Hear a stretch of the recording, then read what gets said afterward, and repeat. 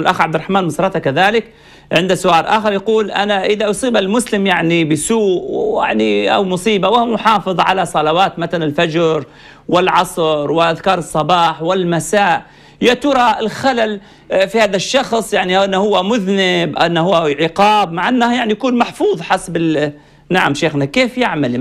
ما الحل في لا ليس لي لي لا ليس الأمر كما فهم الأخ السائل.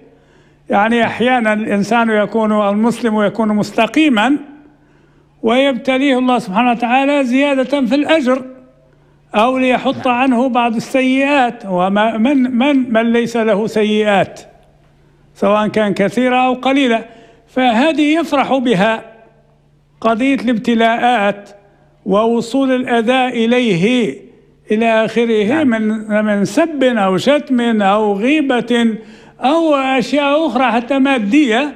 هذه راه هذه في صالحه فلا يكترث لذلك. ولا يظن أبدا أن المستقيم لا تحصل له مصيبة بالعكس. الذي لا يستقيم هو الذي في الغالب لا تحصل له مصيبة. لأن النبي صلى الله عليه وسلم وصل المنافق أو الكافر بأنه لا تحصل له مصيبة بل يكون يعني في في في في في دنياه يعني مقوما حتى تأتيه الحصلة الأخيرة الحصاد النهائي. كالمنجل بالضبط الآلة التي يقطع بها الزرع في جملة واحدة. أما المسلم المستقيم فإنه فإن الأرياح تميله يمنة ويسرة. هذا دليل على أن الله سبحانه وتعالى يحبه ويحب استقامته.